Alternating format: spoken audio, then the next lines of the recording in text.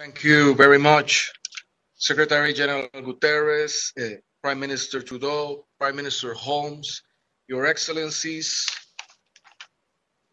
Costa Rica is honored to be part of this uh, forum. If I may begin with an analogy, currently we are fighting together to have vaccination for everyone around the world.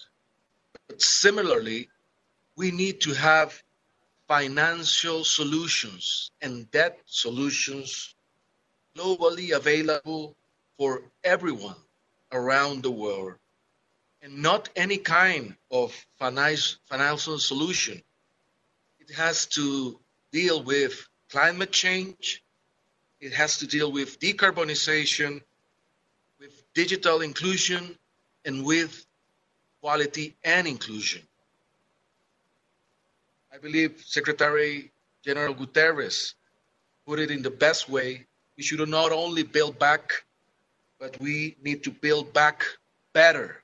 And that should be our common motto now. Ever since the end of March, we raised a flag. We asked international financial institutions to urgently assess the problem that will arise in the coming months and in the coming years and to be more flexible in utilizing the parameters established for debt. We have asked for renegotiations of current debt to address the financial needs of countries, whatever their conditions are. We have asked for standard boilerplate conditions to be negotiated jointly in order to get better conditions applicable to all who need it, not to those that came first we have asked for the issuance of additional special drawing rights for each country. We have asked for deferment of current payments.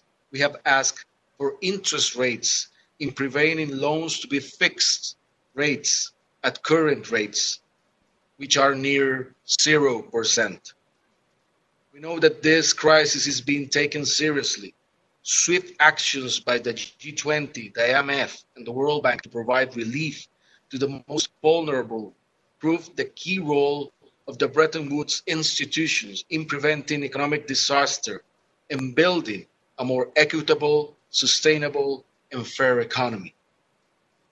We need multilateralism and international cooperation more than ever.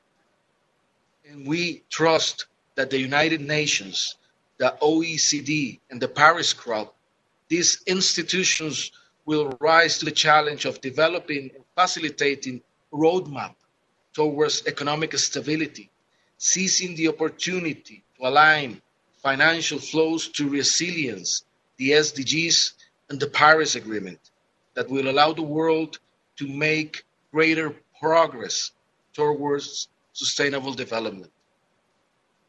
We're going to move past this crisis, and we have to do it by rebuilding our economies with science and technology, but not to return to the pre COVID economies. We have to have inclusive, sustainable, decarbonized, and human rights based economies. For this, we need a world financial order that is different than in the current one, motivated by solidarity and not profit. We celebrate the efforts of the Secretary General of the United Nations, of this group of Friends of Finance for Development led by Canada and Jamaica, of the Ministerial Group of the Climate Finance led by Chile and Finland, and the calls for action for support to indebted nations led by Pakistan. That raised once more our common voice for a new financial order, using all the resources available implement the urgent mandate, the human mandate of leaving no one behind. Muchas gracias y un saludo con afecto. Thank you.